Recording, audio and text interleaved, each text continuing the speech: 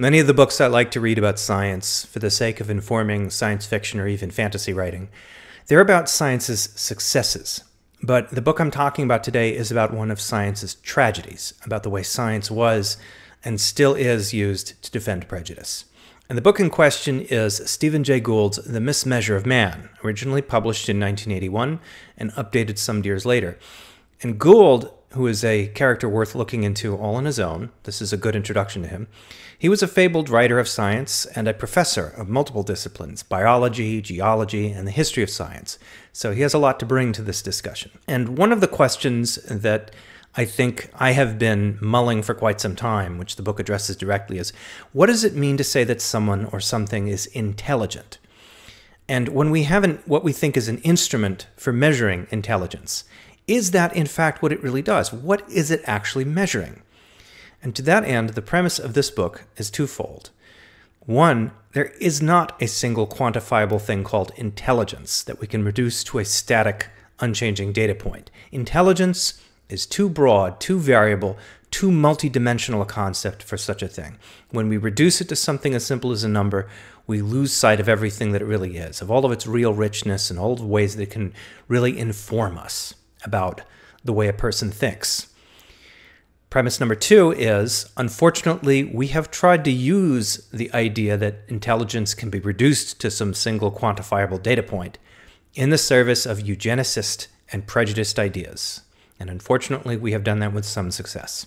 So Gould devotes the book to attacking four basic principles that he sees as supporting this idea of intelligence as being this singular thing. Number one, that intelligence can be expressed as a single number. Number two, that it is capable of ranking people in some linear order. Three, that it is genetically based, that is a, it is a heritable property. And number four, that it is effectively immutable. And if any one of these things proves incorrect, the whole premise falls apart. And Gould shows that pretty much all of these ideas have holes in them. So the book steps us in its uh, first third or so through some of the original ideas that circulated in the 19th century to support racialist concepts of intelligence. And this typically, in the beginning, revolved around things like taking extraordinarily precise measurements of the diameters and the, and the uh, volumes of skulls. And there were a number of different experiments that could be conducted to this end, such as filling a skull with, with buckshot as a way to determine the size of the cranium. And then this also turned into things like measuring bodies and all kinds of uh, finicky ways to figure out whether or not certain body types corresponded to higher intelligence and other body types corresponded to lower intelligence. And then from this developed something that was more sophisticated and more scientific looking, but at the same time still problematic. And that was the concept of the intelligence test. And one of the first things that was developed in this vein was developed by a French psychologist at the turn of the 20th century, a gentleman named Alfred Binet and he created what amounted to the first incarnation of the concept of a mental test. And the idea behind this was to figure out which students in what classes needed more help. He was not trying to use this to prop up any ideas about racialist concepts of superiority or inferiority. It was strictly about helping students. But this work was adapted in the United States by a fellow named Lewis M. Terman and was turned into what was described as the Stanford Binet intelligence test. This was the first incarnation of the modern IQ test, and it was used by the Army during World War I to assess recruits.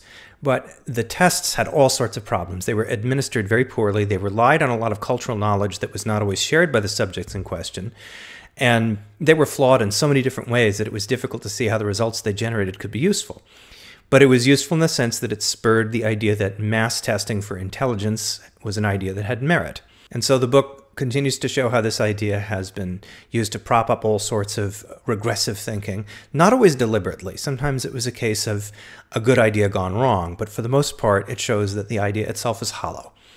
And the reissue of the book has some addenda, one of which is a chapter in which he talks about the book called The Bell Curve, written by Charles Murray and Richard J. Herrnstein, which he unpacks and shows to be basically a reskinning of a lot of the old ideas about IQ that have been since debunked in this shiny new packaging. So it's interesting as a tour of the history of the idea and also as an unpacking of the way the idea has so many inherent problems that it's difficult to see why today we would want to subscribe to it except to defend regressive theories about society. Now, what all of this has for the science fiction or fantasy author, I'm thinking specifically of science fiction in this case, but one of the things I, I keep thinking about with the practice of science is how it can be used for the sake of the defense of existing cultural prejudices, whether those prejudices are articulated or not. When we say that we are practicing science, are we in fact in a quest for the truth, or are we just upholding our existing ignorance? And it is not always easy to determine whether or not that's the case. Are we trying to build a society that is, in fact, better and more inclusive and more humane, or are we just looking for ways to repeat the same old sins? And so, another thing that, of course, comes to mind is if we have a story that revolves around the idea of intelligence, whether that intelligence is artificial or natural, how is that going to be uh, analyzed or ranked? If we devise some instrument for testing, such a thing. Is that in fact what it does? One of the things that came to me was the idea of let's say we have a so called IQ test for an alien species or for some creation of ours that just turns out to measure the extent of our prejudices about whatever it is we're measuring. It's not about measuring anything genuine. And so that would be a reflection of our misunderstandings about others, that we see in the other what it is we want to see and that and we see them as something incomplete which we must fix or something problematic which we must wall ourselves off from.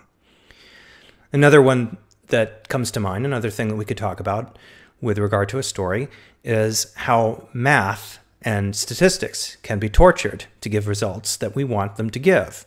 There are a number of points in the book where he talks about the way statistics are misused. There's a fairly significant slice of the book where he has to go into some significant detail about statistical methods. And it can be a little bit hard to go through, but he does his best to unpack it all as slowly and carefully and with as many visual aids as possible. So it really ends up becoming a mini course in this sort of thing. And if his discussion of it whets your appetite for that sort of thing, there's plenty of other books that you can look into. One of them is a very good book that's been around for some time called How to Lie with Statistics. And a lot of what he talks about in the latter half of the book basically works as a case study of that sort of thing. Not only does uh, someone in the book lie about statistics, but as it turns out, they have in fact committed fraud. And one of the other strains of thought that the book was stimulating for me, as far as, as far as what kinds of stories we can tell with this material goes, is the whole question of what kinds of creatures are we? And this is something that Gould talks about in the closing chapters, where he tries to get to the the idea of you know what it is what is it that constitutes humanity in in a genetic sense, and there's another book that I've been reading called The Dark Matter of the Mind that also touches on this, and I'm going to go into a whole separate discussion about that wonderful book later. But one of the things that Gould stumps for is the idea that if there is a genetic heritage that we have, all of us, especially in terms of how it relates to our intelligence, it revolves around our general plasticity and adaptability as a species, not in the sense that some of our lineages have greater or lesser intelligence, but that we all have the capacity for intelligence, and that the way that we can unlock that within ourselves is our greatest legacy if we can only choose to do it. So, once again, the book is The Mismeasure of Man by Stephen Jay Gould, available both digitally and in conventional Dead Tree editions. And for those of you who are thinking about a science fiction story that deals specifically with science and its failure modes, especially its failure modes in terms of our prejudices as human beings. I can't recommend it enough. See what you think.